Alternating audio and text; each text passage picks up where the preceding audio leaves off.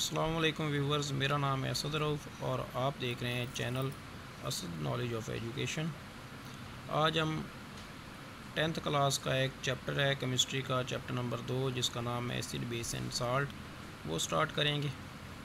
जैसा कि ये चैप्टर का नाम है, इस चैप्टर के नाम से हमें ये वाज हो जाना चाहिए कि एसिड और बेस और जो साल्ट हैं, ये तीन मुख्तलिफ़ किस्म के कंपाउंड से ताल्लुक़ रखते हैं, तीन मुख्तलिफ़ किस्म के क्लासेस हैं कंपाउंड्स की। तो ये चैप्टर पूरी केमिस्ट्री में बड़ा इंपॉर्टेंट चैप्टर है, ना सिर्फ़ ये मैट्रिक में, बल्कि आगे भी जाके बहुत ही काम आता है, अगर इसके कंसेप्ट आपको क्लियर हैं तो काफ़ी हद तक आपको इनऑर्गेनिक केमिस्ट्री क्लियर हो जाती है। तो चलते हैं इसके, इस चैप्टर को स्टार्ट करते हैं। हम इस चैप्टर का पहले तारफ़ देखते हैं। तारुफ में हम एसिड बेस और साल्ट वगैरह का कुछ तारफ़ पढ़ेंगे। मेनली हम एसिड का ही पढ़ेंगे। नेक्स्ट जैसे ही हमने साल्ट वगैरह का टॉपिक स्टार्ट किया तो उसका तारुफ हम इसमें पढ़ेंगे। पहले हम एसिड स्टार्ट कर रहे हैं तो इसका तारुफ देखते हैं। एसिड क्या चीज़ है? एसिड एक लतीनी ज़बान का लफज लफज है और एक लतीनी ज़बान के लफज से निकला हुआ है, जिसका जो वर्ड क्या है? एसिडस एसिड जो है, वो एक लतीनी ज़बान के लफज एसिडस से निकला है। एसिड क्या है, एक लतीनी ज़बान के लफज एसिडस से निकला है, जिसका मतलब है तुरश। ठीक है। तो इसको सबसे पहले एसिड को बनाया किस, किनों ने था?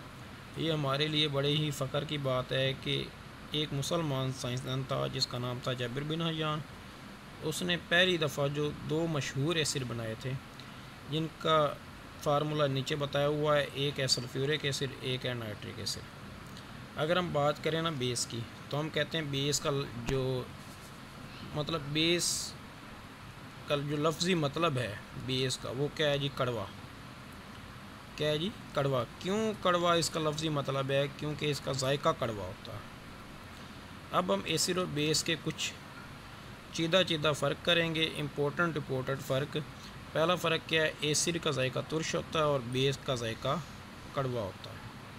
इसके अलावा बेस को जब हम छुएँ तो फिसलन वगैरह भी फिसलन वगैरह भी महसूस होती है। अगर हम एसिड के सोर्स की बात करें तो उसके सिट्रस फ्रूट आ जाते हैं। सिट्रस फ्रूट्स में क्या क्या चीज़ें आती हैं? सिट्रस फ्रूट्स में आती हैं हमारे पास लीमू, माल्टा, संतरा ई तो अगर हम बेस के स... ये हाँ जी? अगर हम बेस के ज़राए पे बात करें तो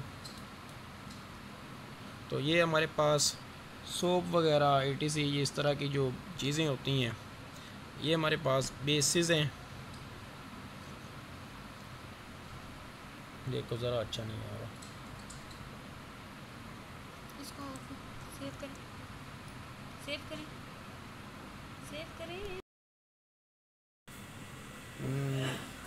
नेक्स्ट हम करते हैं ये एसिड बेस का फ़र्क। एसिड का जायका तुरश होता है बेस का कड़वा होता है। और बेस को छूने से फिसलन भी महसूस होती है। जैसे आप साबुन को छुएँ तो फिसलन महसूस होती है। अब एसिड का ज़राए कौन से हैं जी? एसिड के सोर्सेज क्या हैं जी? एसिड के सोर्सेज हैं ज़राए हैं सिट्रस फ्रूट एसिड को हम सिट्रस फ्रूट्स से हासिल कर सकते हैं। जैसा कि लीमू हो गया, माल्टा हो गया, संतरा हो गया ऑरेंज हो गया।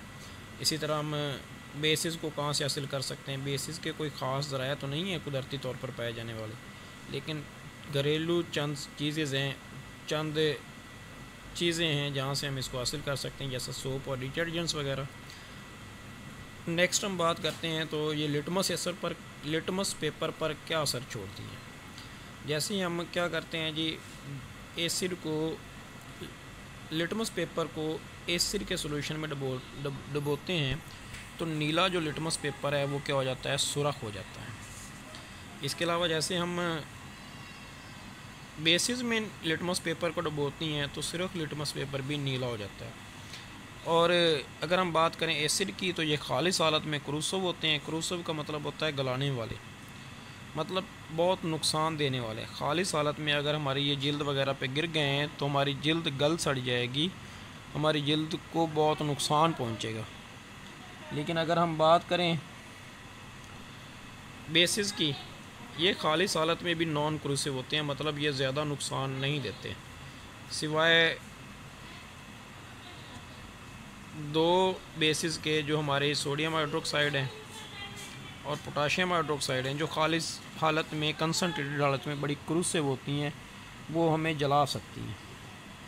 तो अगर हमने एसिड का सोल्यूशन बनाया है उसमें से करंट गुजारते हैं तो उसमें से जो करंट है, वो बहुत ज़्यादा मकदार में गुजरेगा। मतलब ये करंट के क्या होते हैं? कंडक्टर होती हैं और ये भी करंट की क्या होती हैं जी?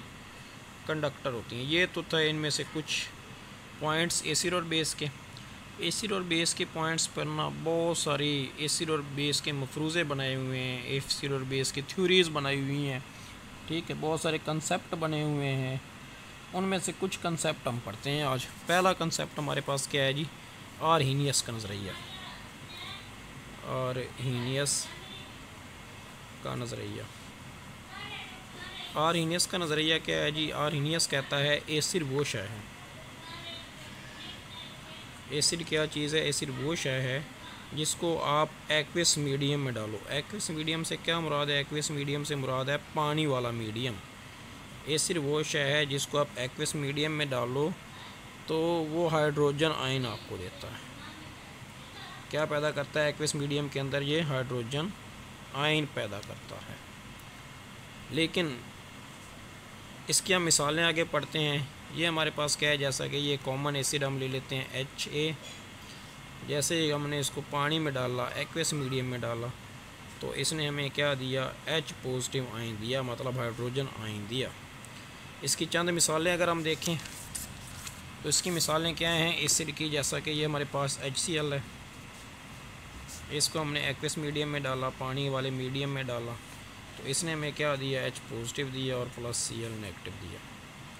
तो उसी तरह अगर हम अगले किसी एच एन ओ थ्री का देख लें तो ये हमारे पास क्या करता है? एच पॉजिटिव आइन देता है plus N O three negative ion देता है।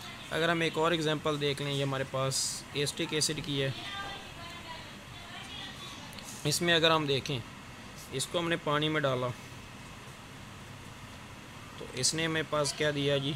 एच पॉजिटिव आइन दिया और एक नेगेटिव आइन दिया, जो C H three C double O negative है।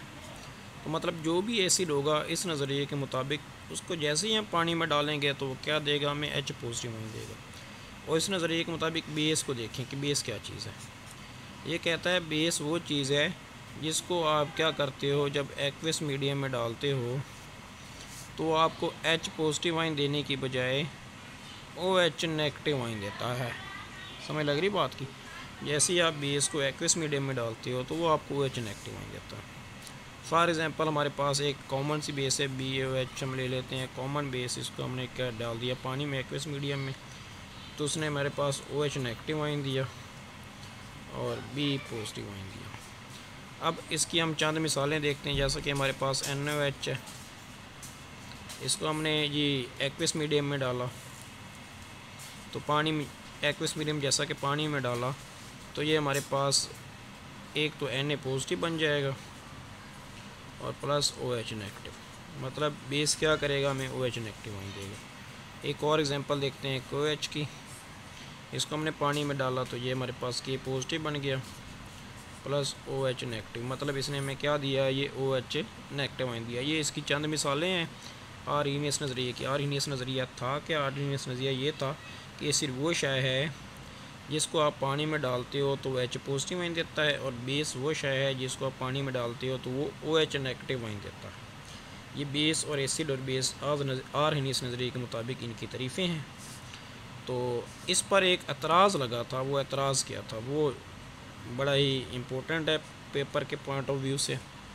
इस पर एतराज़ ये लगा था कि इसने ना एसिड और बेस को एसिड और बेस को सिर्फ़ और सिर्फ़ कहाँ तक महदूद कर दिया था? इसने एसिड और बेस को महदूद कर दिया था। पानी तक एक्वेस मीडियम तक की महदूद कर दिया था। इसके नज़रिए के मुताबिक जो एसिड हैं, वो पानी के अलावा फॉर एग्ज़ाम्पल, एक एसिड है ना, उसको पानी में डालोगे तो वो एसिड रहेगा, पानी से निकाल लोगे तो एसिड नहीं रहेगा। ये सबसे बड़ा इसका ड्रॉबैक था, सबसे बड़ा इसका गलत पॉइंट था। दूसरा इसका गलत पॉइंट क्या था कि इसने एसिड और बेस को एच पॉजिटिव आइन और ओ एच नेगेटिव आइन तक महदूद कर दिया था। हम एक ऐसे एसिड को डाल, जानते हैं जो है जी हमारे पास कार्बन डाइऑक्साइड उसमें एच पॉजिटिव है ही नहीं। जब है ही नहीं कि वो देगा कहाँ से? तो हम एक ऐसी बेस को भी जानते हैं, जैसा कि एन एच थ्री बड़ी स्ट्रॉन्ग बेस है। उसमें ओ एच नेगेटिव आइन तो है ही नहीं। वो देगी कहाँ से ओ एच नेगेटिव आइन ये इस पर दो एतराज़ थे। सही है। तो नेक्स्ट हम इंशाल्लाह अगले टॉपिक में, अगले लेक्चर में, अगली वीडियो में हम नेक्स्ट टॉपिक स्टार्ट करेंगे। आज का हमारा जो टॉपिक है, वो यहीं तक है।